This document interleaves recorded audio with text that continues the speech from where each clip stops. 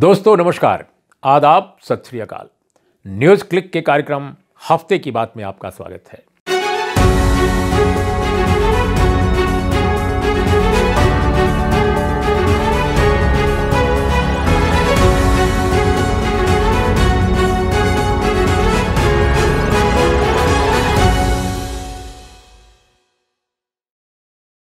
इस कार्यक्रम में दोस्तों, हम सप्ताह की हफ़्ते की बड़ी जो खबरें होती हैं, उन पर बात करते हैं, लेकिन हम खबर नहीं पेश करते। हम खबरों के पीछे जो खबर है, जो उनके पीछे असल कहानी है, उसको आपके सामने हम अपनी बात शेयर करते हैं उनको लेकर। इस बार हफ़्ते की बात में हम पहली कहानी जो शुरू करते हैं, विपक्ष की सबसे बड़ी पार्टी कांग्रेस के बारे में। बड़े दिनों के बाद कांग्रेस सुर्खियों में है। अदरवाइज़ वो केवल सरकार की कुछ बातों पर रिएक्ट करती है। कई बार जो उसकी बातें होती हैं, वो फुस हो जाती हैं। कई बार लोगों में चर्चा का विषय भी बनती हैं, लेकिन इस बार कांग्रेस पार्टी ने पार्लियामेंट सेशन के दरमियान दो तीन बड़े महत्वपूर्ण सवाल उठाए। एक तो उन्होंने प्रधानमंत्री नरेंद्र मोदी, उनकी सरकार पर जमकर अटैक किया और ख़ासकर जितने हाल के बड़े फैसले हैं, उन पर कटाक्ष करते हुए, उन पर हमला करते हुए, खासकर जो फाइनेंशियल इश्यूज़ हैं, चूँकि बजट सेशन है, हम सब जानते हैं। तो उन्होंने राहुल गांधी ने, जो कांग्रेस के इस वक्त सबसे बड़े नेता हैं, हालाँकि उनकी माँ राष्ट्रीय अध्यक्ष हैं पार्टी की, लेकिन माना यह जा रहा है कि जल्द ही राष्ट्रीय अध्यक्ष वो बनेंगे।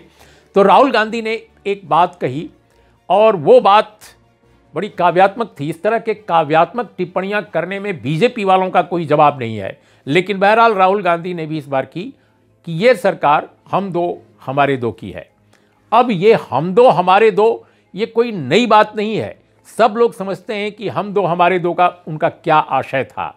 I mean politician corporate I mean दोनों जो खेमे हैं इस देश के, जिनके बारे में माना जाता है कि सरकार में उनकी सबसे चलती है, उनके बारे में उन्होंने जमकर अटैक किया। कांग्रेस पार्टी विपक्ष की जो सबसे पार्टी है, क्यों नहीं खड़ी हो पा रही है? डिस्पाइट ऑफ़ कि उनके नेता कई बार अच्छे बयान देते हैं, लेकिन पार्टी कहीं ना कहीं कमज़ोर हो जाती है। तो इस पर एक बड़ी दिलचस्प टिप्पणी प्रेस क्लब ऑफ़ इंडिया के फॉर्मर जनरल सेक्रेटरी और एक वरिष्ठ पत्रकार जो एनडीटीवी में काम करते रहे हैं नदीम अहमद काजमी। उन्होंने एक बड़ी दिलचस्प टिप्पणी की है सोशल मीडिया पर। उनका कहना है कि कांग्रेस पार्टी की समस्या यह है कि वो जो भी योजना बनाती है, जो भी उसकी राजनीति है, वो जमीनी स्तर पर उतरती ही नहीं। उस पार्टी के जितने पदाधिकारी खासकर राज्यों में ज़्यादातर हैं, हिंदी हार्टलैंड में, वो ऐसे पदाधिकारी हैं, उन्होंने बिहार का हवाला दिया है, जो अपने घर में भी कांग्रेस पार्टी के लिए वोट नहीं दिला सकते और बीजेपी का जो जनाधार है, वो दरअसल कांग्रेस के पुराने जनाधार का ही एक तरह से रिप्लेस कर दिया है बीजेपी ने। तो ये किस्सा कांग्रेस पार्टी को लेकर उन एक पत्रकार की टिप्पणी बड़ी दिलचस्प थी। दूसरी बात जो राहुल गांधी ने कही, वो ये कि चीन को लेकर, भारत और चीन में जो सरहद को लेकर, गलवान वैली को लेकर जो समझौते हुए हैं, उनमें उन्होंने सरकार पर सवाल उठाया। और उनका तो ये आरोप था कि भारत अपनी कब्जे की ज़मीन को एक तरह से सरेंडर कर रहा है। लेकिन इसका फ़ौरन इसका फ़ौरन जो है जवाब दिया सरकार ने और अब तो डिफेंस मिनिस्ट्री ने भी कह दिया है कि ऐसी कोई बात नहीं है, ये बिल्कुल सिरे से गलत बात है। लेकिन दोस्तों, हम इन दोनों के बारे में, यानी अपने देश की सरकार और विपक्ष की पार्टी के बड़े नेता, हम इन दोनों की बातों पर कोई टिप्पणी नहीं करेंगे, क्योंकि हमारे पास कोई भौतिक सत्यापन नहीं है। यानी हमने कोई जाँच पड़ताल सरहद के उस इलाके में जाकर नहीं की है, इसलिए हम कैसे कह सकते हैं? ये हम बयान ही मानेंगे, लेकिन हम खुश हैं एक नागरिक के रूप में, एक जर्नलिस्ट के रूप में, कि कम से कम भारत और चीन के बीच में शांतिपूर्ण ढंग से एक मसला सुलझा, जो बहुत दिनों से गरमा रहा था, एक तरह से लपटें उठ रही थी उस इशू पर। और आपको याद होगा, गलवान वैली में आ, बहुत पहले की बात है पिछले साल की गर्मियों में। वहाँ पर 20 आ, आ, तकरीबन 20 जो सैनिक हैं भारत के उनकी हत्या हो गई थी। उनको उनको चीनी सैनिकों के हमले में वो मारे गए थे। उसमें एक अधिकारी भी थे बड़े अधिकारी सेना के थे। तो ऐसी स्थिति में और चीन के भी कुछ लोग माना जाता है कि उनकी ओर से भी कुछ लोग मारे गए थे। इस मुठभेड़ इस टकराव में जो कुछ हुआ वो अक्सर हमने देखा है कि सरहद पर बीच बीच में होता रहता है, कभी पाकिस्तान के साथ, कभी चीन के साथ। लेकिन ये जो एक सेटलमेंट हुआ है आर्मी के लेवल पर, और निश्चित रूप से इसमें इनिशिएटिव या पहल राजनैतिक राजनयिक रूप से ज़रूर हुई होगी तो ये एक स्वागत योग्य कदम है। लेकिन हमारा एक सवाल है कि ये जो मसले सुलझाए जाते हैं या सेटलमेंट की तरफ़ हम जब जाते हैं तो क्या वजह है कि अपनी काफ़ी क्षति कराने के बाद जाते हैं। या ये दोनों देश, या हम तो कहते हैं पाकिस्तान भी, क्योंकि वो भी एक बॉर्डर का सरहदी देश है। और आखिर क्या वजह है कि सारी की सारी बातें, सारे के सारे शांतिपूर्ण समाधान की कोशिशें, जब कुछ घटना घट जाती है, उसके बाद शुरू होती हैं। और एक लंबी प्रक्रिया लगती है सेटलमेंट तक पहुँचने में। मेरा मानना है कि भारत और चीन या भारत और पाकिस्तान को मिल बैठकर ये मसले हमेशा के लिए सेटल कर लेना चाहिए। और ये मौजूदा सरकार मानती है कि वो भारत की अभूतपूर्व ताकतवर सरकार है। तो अभूतपूर्व शक्तिशाली सरकार को निश्चित रूप से जल्दी से जल्दी अपनी शक्ति का प्रदर्शन करना चाहिए और चीन और और पाकिस्तान के साथ मसलों को, सरहद के मसलों को कम से कम सेटल करना चाहिए, जिससे कि सरहद को लेकर कहीं टकराव न हो, जिसमें कि हमारे जवानों की गैर ज़रूरी ढंग से आ, हमें क्षति उठानी पड़े। ये एक बहुत बड़ा मसला है। क्योंकि अभी भी ये कहा जा रहा है कि वो फिंगर आ, फिंगर एट के पूरब तरफ़ चली गई चीन की सेना और भारतीय सेना के बारे में कहा जा रहा है कि फिंगर तीन के पास धान सिंह थापा जो पोस्ट है, वहाँ अब रहेगी। इसी को लेकर विवाद कांग्रेस ने उठाया था, लेकिन हमारा कहना है कि विवादों से परे जाकर हमें इस बात पर ज़ोर देना चाहिए कि ये जो सेटलमेंट हैं, सरहद के मसलों को लेकर जल्दी से जल्दी किया जाना चाहिए। दोस्तों, हमारी तीसरी जो महत्वपूर्ण खबर है, वो भी एक सरहदी सूबे के बारे में है, जो हमारे देश का बहुत महत्वपूर्ण राज्य है। और लेकिन अभी दो भागों में विभाजित हो गया, एक लद्दाख, वो केंद्र शासित क्षेत्र है, और दूसरा जम्मू कश्मीर, वो भी केंद्र शासित क्षेत्र है। गृह मंत्री अमित शाह ने फरमाया है कि जैसे ही परिस्थितियाँ अनुकूल होंगी, अब वो कब होंगी कोई नहीं जानता।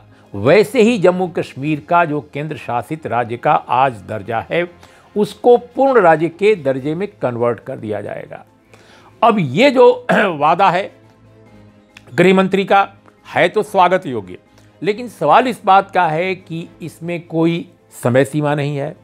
सरकार जब भी परिस्थिति को अनुकूल माने, तभी ये होगा।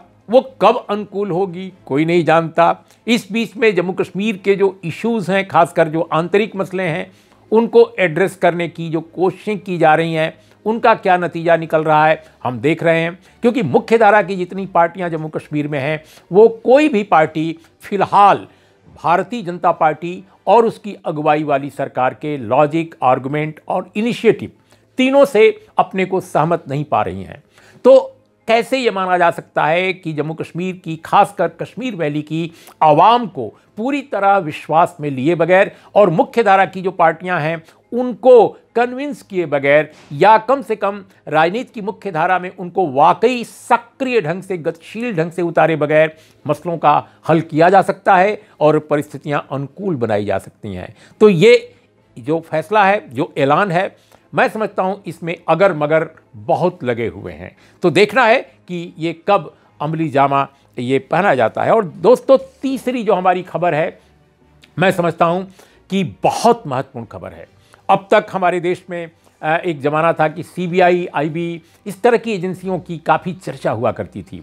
लेकिन पिछले कुछ दिनों से नई नई एजेंसियों की बड़ी चर्चा है। जैसे एक एजेंसी है NCB narcotic control board bureau अब नारकोटिक कंट्रोल ब्यूरो ये जो सुशांत राजपूत का जो ज़िक्र आया था उसमें बड़ा ये इसका नाम उछल गया था। वो मुंबई में तमाम अभिनेताओं, स्टार जो थे, उनके यहाँ गांजा, भाँग, चरस वगैरह की तलाश में निकल पड़ती थी एजेंसी।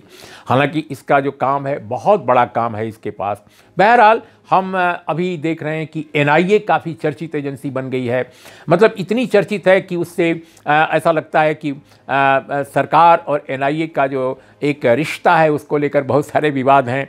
अभी एक नई एजेंसी जो है, जो जो है तो पुरानी, लेकिन चर्चा में नए ढंग से आई है, वो इस देश की जो ईडी है, यानी प्रवर्तन निदेशालय जिसे कहते हैं। और प्रवर्तन निदेशालय और आई मीन एनआईए दोनों की काफ़ी चर्चा हो रही है। एक हालिया इशू है, एक बहुत ताज़ा मुद्दा है कि आपको याद होगा, भीमा कोरेगांव मसले पर एक समय बहुत बड़ा विवाद चला था और उसमें बहुत सारे लोग गिरफ़्तार कर लिए गए।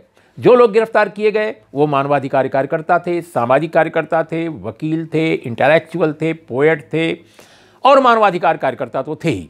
अब इन लोगों के बारे में एक बड़ी दिलचस्प खुलासा हुआ है कि रोना विल्सन साहब, जो दिल्ली के मनीरका में थे और उनके घर पे जब पुणे से आई हुई एक टीम ने छापा मारा था तो सिक्योरिटी तो तो उसमें उसमें जो एजेंसियाँ थीं यानी पुलिस या अन्य एजेंसियाँ जो भी रही हों उन्होंने उनके लैपटॉप को कब्जे में कर लिया। आ, आज आजकल अक्सर ऐसा होता है कि जब भी कोई एजेंसी छापा मारती है किसी के घर पे और ज़ाहिर है वो असहमत लोग होते हैं जो सत्ता से नाराज़ हैं, सत्ता की आलोचना करते हैं।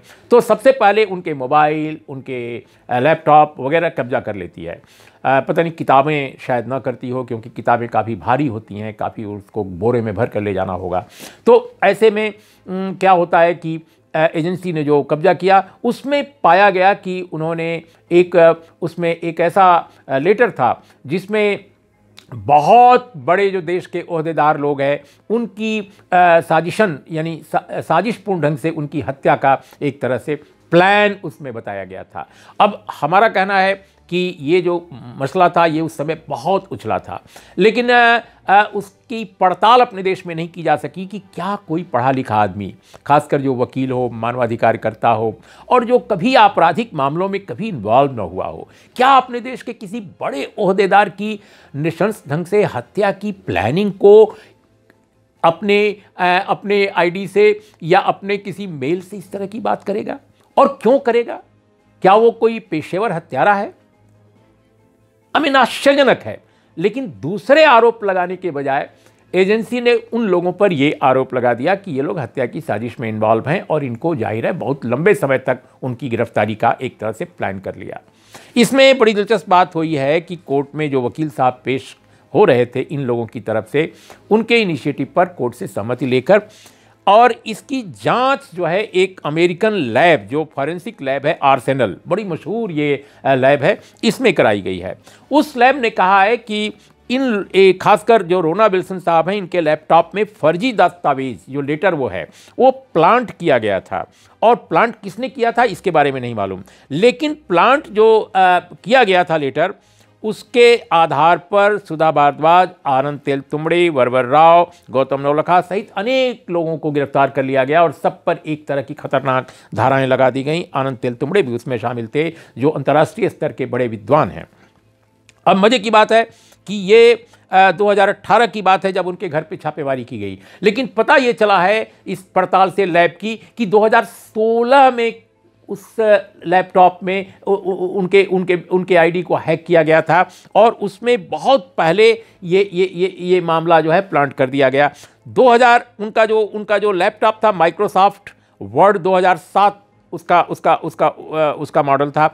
लेकिन उसमें 2010 और 2013 के पीडीएफ फॉर्मेट में चीज़ें उसमें लोड की गई। तो ये 2016 में जो विल्सन का लैपटॉप जो हैक किया गया था, उसके आधार पर किया गया, ऐसा बताते हैं। लेकिन एनआईए ने इस आरोप को सिरे से खारिज किया है और उसने कहा है कि ये बिल्कुल झूठी बात है, इसमें कोई दम नहीं है। अब देखना है कि ये मामला कहाँ तक जाता है, किधर जाता है? बिल्कुल अंत में दोस्तों छोटी छोटी एक एक लाइन की खबर। अभी ये भी बताना बहुत ज़रूरी है कि अपने देश में पेट्रोल जो है, इस वक्त पचासी रुपये से पचानवे रुपये प्रति लीटर के मोल से बिक रहा है और डीजल की कीमत अठहत्तर रुपये से पचासी रुपये हो गई है। लेकिन असम जहाँ चुनाव होना है, वहाँ कटौती की गई है दामों में। तो बड़ा दिलचस्प है, असम के लोगों पर थोड़ा सा राहत उनको देने की कोशिश की गई है। पता नहीं बंगाल में की जाएगी या की जा रही है या नहीं। और अंत में बिल्कुल दोस्तों ईडी जो है वो भी खूब जम के इस समय एक्टिव है, खासकर असहमत जो लोग हैं, जो आलोचना करते हैं सरकार की, उनको लेकर। केरल के पत्रकार सिद्दीक कप्पन, इनके खिलाफ ईडी ने भी आरोप तय किए हैं, ऐसा एक खबर आई है। और दिलचस्प बात यह है कि न्यूज़ क्लिक के जो दफ्तर, उसके प्रधान संपादक और अन्य तमाम लोगों, कई लोगों पर इस तरह की कार्रवाई भी की गई है छापेमारी की, और जो इन पंक्तियों के बोले जाने तक, संभवतः चल रही थी। तो दोस्तों, इतनी सारी बातें आपके सामने मैंने आज शेयर की और मुझे विश्वास है कि आप इन खबरों और खबरों के पीछे की खबरों को ज़रूर स्वयं भी आप विश्लेषित करते होंगे, एनालाइज करते होंगे कि क्यों ऐसा हो रहा है। इन शब्दों के साथ आज की चर्चा का समापन करता हूँ। नमस्कार, आदाब, सत श्री अकाल।